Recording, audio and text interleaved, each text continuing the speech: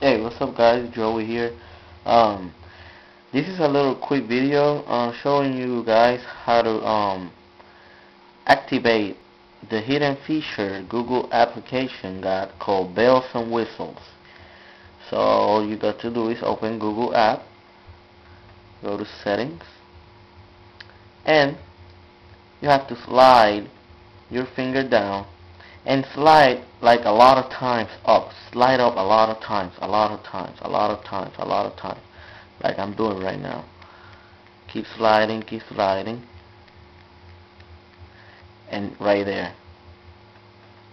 It's gonna come up. Bells and whistles. I don't know if you guys can see it. Alright. Go there. And there you got uh, some options. Theme color sounds live waveform, open links in apps. So theme color, and you can change the color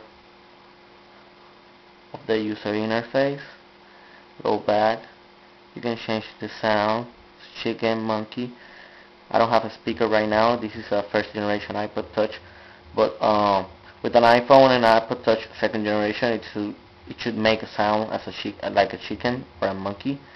Um, you go to live waveform. I don't really know what is that. I'm gonna do a research about it and I'll let you guys know. And open links in apps. That means that when you go to search and you type uh, something in your search bar yahoo.com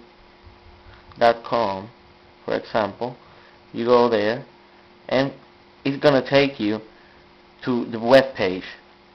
But if you activate open links in web app, you go back to you to Google app.